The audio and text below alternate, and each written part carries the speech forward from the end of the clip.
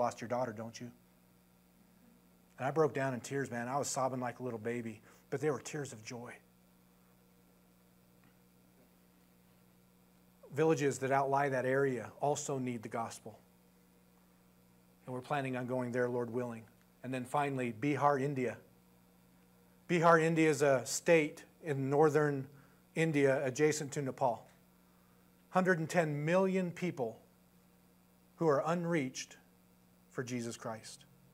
Why is that the case? It's because one third of the year they're in flooding, one third of the year they're in drought, and the rest of the time they're just surviving.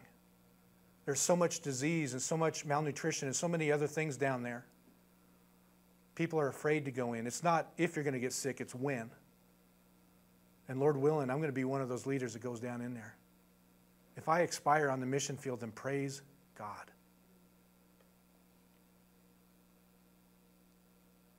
So, what is commitment? What does it really look like? It's a decision that you have to make to kill all your other options. One of the hardest decisions that I ever had to make was to take my daughter, who will be turning 16 soon, precious to my heart, and my son, who at that time was 18, and to take them into a security three country where I knew that there was a possibility of my daughter being kidnapped and trafficked and my son being hurt or killed because he's spreading the gospel. It's illegal to spread the gospel in that country. And I was nervous and I was scared. But the first step of faith is courage. And so I got into God's wheelbarrow that day. And I said, Lord, take my life, take my family. They're yours anyway. What do I think that I've got the control for? Take them and use them for your glory my son, for the first time in his life, was able to present the gospel to somebody else that he didn't even know in a language he couldn't even understand. My daughter knows for sure she's called to full time missionary work.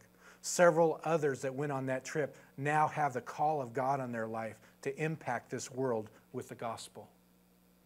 We need to trust. That is to walk by faith and to get into God's wheelbarrow, so to speak, and let God bring the success.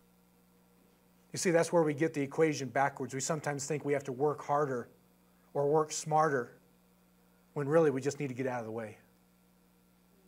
So here's your challenge for today. What are you doing here?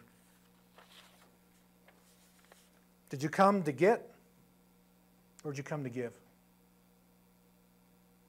This is not where I step on your toes and make you feel miserable. It's just a question. Ask yourself what am I doing here? Not just in this room, not just with this church, but what am I doing here as a Christian? Where's my commitment, Lord? What is my passion? And if I don't have it, Lord, will you give me one? Second question is what excuses do you give to the Lord? I mean, I've got so many excuses, it's just crazy. And I keep offering up those excuses over and over and over. Yeah, but Lord, I don't speak well. And Lord, I'm scared about going into these shops. And Lord, I've got this. And the Lord just simply says, you know what? I'll take care of all of that. Just commit your way to me, trust, and I'll bring it to pass. What is the Lord whispering to you right now? I'm going to end with this very brief biblical illustration. We all probably know the story of Elijah. There's a point in time when Elijah, who was a prophet of Israel, had uh, given a, a, little bit of a contest to a few of the priests of Baal, 450 priests to be specific. And he said, The God who rains down fire onto this sacrifice and onto this altar, he is the true God. And he asked the nation of Israel, who at that time was wavering in their faith, they weren't able to make a commitment.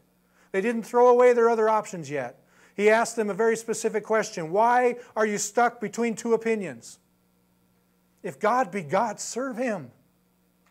But if Baal be God, serve him. So he let the priests of Baal go first, and we all know the story. They cut themselves, they jumped up and down, they did all sorts of funny things, and nothing happened. So Elijah, I like this guy, got a little cocky. Okay? He got some water out and he dumped it all over the sacrifice, soaked the wood, filled up the whole ring of rocks with water so that it was standing water. He uh, prayed a little bit. And the next thing you know, God sends his answer by fire, takes the sacrifice, takes the wood, takes the stones, laps up the water. And then he says, Grab those priests of Baal and kill them. And the people did. 450 of them died that day. And Jezebel, the queen of Israel at the time, who was a wicked lady, she was a, a sorceress, and those were her priests, got really torqued at that. She says, Well, whatever happened to them is going to happen to you now. so, what did Elijah do? He tucked tail and run. I mean, he had the God of all gods on his side, and he tucked tail and ran.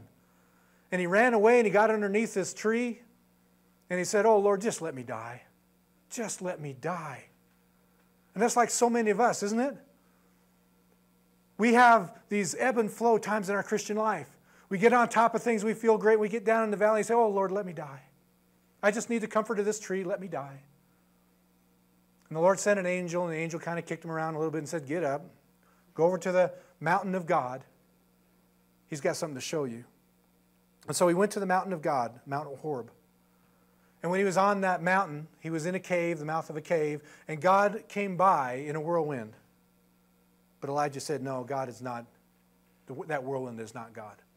And then there was a fire, but God is not in the fire. And then there was an earthquake, and Elijah said, No, God is not in the earthquake. And then there was a still, small voice that spoke to Elijah. And he covered his face and worshiped the Almighty God. Because for the first time, I think, in his life, he began to understand that it's not about the elements and it's not about the miracles.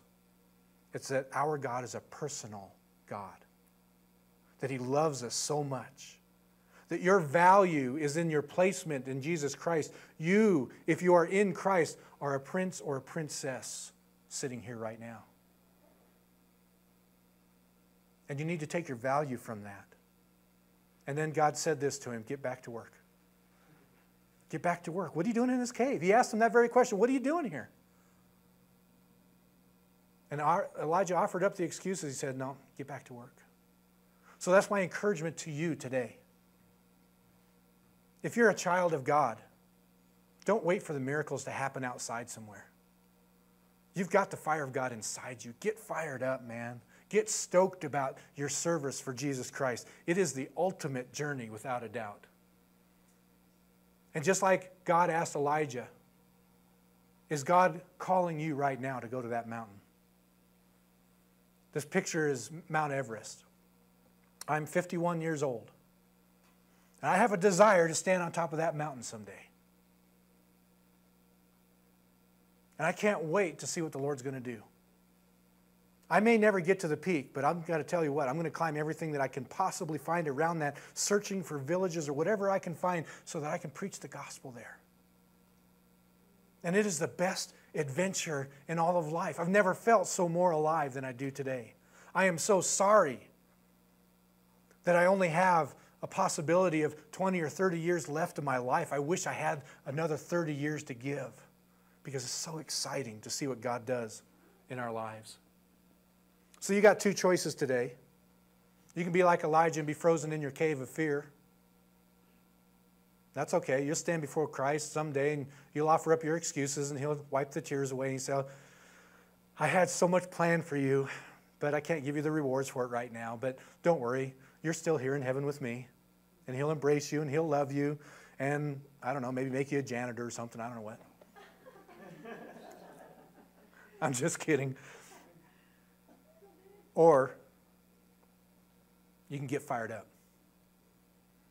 You can get fired up and get excited about the fact that Christ has chosen you to be part of his miraculous work. And you can see God work miracles through you. This is our team witnessing to those ladies who are sick with AIDS on the benches in Nepal. And so, all I can ask you today is to do this. Will you please ask the Lord what He has for your life? I mean, really dig down deep. Make that commitment to Him. Trust also in Him, and He will bring it to pass. Let's pray. Gracious Heavenly Father, we thank you so very much for the opportunity today to be able to share your word with these people. They are so wonderful that they're so intent on being able to be focused on your word. And just as the song said, they're, they're hungry, Father, they're thirsty for you. And I know that you have a magnificent ministry for this church, and I know that these people are part of that ministry. I pray that you would reveal it to their hearts, Lord Jesus. And if there's one here today who doesn't know you, I pray, Father, that before they leave this church, that they'll talk to me or they'll talk to another one of the leaders here or another one of the members here, that they may get that straightened out. Father, glorify yourself. And I thank you for these people's patience today. In Jesus' name, amen.